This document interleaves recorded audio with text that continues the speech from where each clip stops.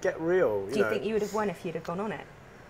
Probably not. I don't know. I don't know. It's really hard. I mean, when I watched it afterwards, I thought it would, I would have gone mad because even in prison, I had books, I had television, you know, I had conversation. What I think was amazing to me was, you know, the lack of kind of, you know, um, stimulating conversation that went on. Hello, Alex Reid. You know, just I thought he was lovely though. I thought he deserved to win. Actually, I, I really early on thought he would win because I think that he went in there as the underdog. You know, no one really knew much about him. Actually, he was quite sweet. I mean, you're right. You know, there's things about him that you could maybe pull apart, but generally, I think he was quite nice. And Vinnie was bullying him all the time, and and you know, he he reacted really brilliantly. There was this one part where Vinnie was being really nasty, and he went to enjoy a cup of tea. And I thought we could all learn from him. You know, this is a really good way of diffusing a situation. You know, put the kettle on. You know. Yeah, I hated Vinnie. I, bleh.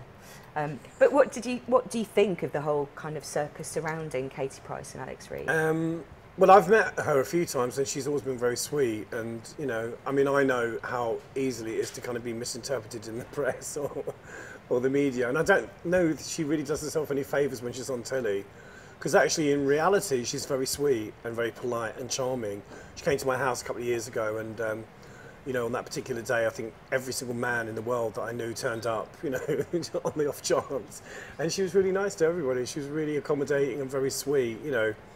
But yeah, I think when your life is about being yourself, you know, you're always going to come under kind of a lot of scrutiny, and I think it's difficult. It doesn't seem to be. There's, a, you know, I can go home and I don't have cameras in my house. You know, I can go home and switch off and go to bed and relax. But if you've constantly, if that's, if your life is, you know, I mean, I've got my music. That's what I do. You know, if it was only just about me, I think it probably would drive me nuts. You know? Could you see yourself becoming, you know, uh, the new Elton John for helping people through or giving advice? Well, or... I think one of the things that you know, I mean, you know, yeah, one of the things that you learn. I mean, I, I go to NA and, and then I do this 12-step program, and it's all about helping people.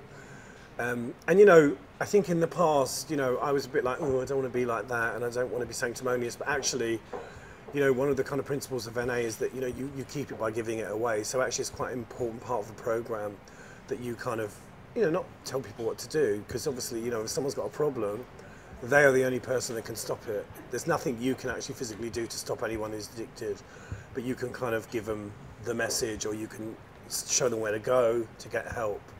But, basically, it boils down to you stopping yourself. No one can stop you, and it's really frustrating if you really care about somebody to watch them in that state. You know, I mean, obviously, I realise now. You know, I, I used to take a very arrogant attitude towards it. It was like, well, it's my life to destroy, as, as Morris used to say, you know, in my own way.